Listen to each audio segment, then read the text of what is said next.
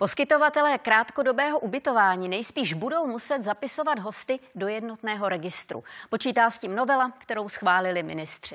Stát by podle jejich představ měl získat lepší přehled o tom, kdo komu jaký nocleh poskytuje.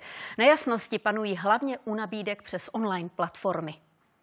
Někteří sem jezdí za odpočinkem a turistikou, jiní tu pořádají oslavy nebo svatby. V penzionu nedaleko Dobříše na Příbramsku ročně ubytují okolo pěti tisíc lidí. Procentuálně můžeme vyjádřit 70% Češi, 30% eh, eh, zástupci vlastně jiných, jiných zemí a převážně je to eh, zástupci Polska nebo Německa. Hledají nějaké ubytování na jednu, na dvě noci. Každého návštěvníka musí zaevidovat do ubytovacího systému. Údaje pak poskytují zvlášť cizinecké policii, obci kvůli místním poplatkům nebo úřadům. Dneska už zase na to mám třeba v rámci svého personálu vyčleněny vlastně kolegy, takže je to čas, který to bere. Ušetřit práci s administrativou jim má registr e-turista, kam všechny údaje zadají a úřady si je sami převezmou. Myslím si, že je to otázkou času, aby se eh, na to ubytovatel nastavil, aby jsme si na to zvykli a ve finále ty pozitivní eh, dopady převládnou. Nový registr by měl přinést také lepší kontrolu poskytovatelů krátkodobého ubytování. Podle ministra Ministerstva pro místní rozvoj totiž až 70% těch, kteří ubytování nabízí skrze online platformy,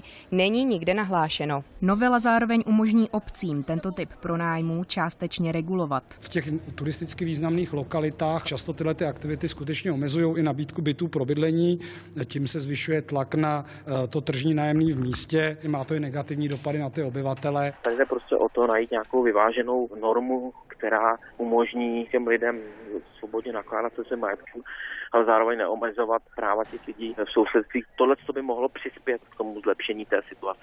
Nejen velká města v Česku, ale i v Evropě se potýkají s náporem turistů. Řada metropolí tak krátkodobé pronájmy striktně omezila a zavedla vysoké poplatky. Redakce a Klára Ješinová, Česká televize.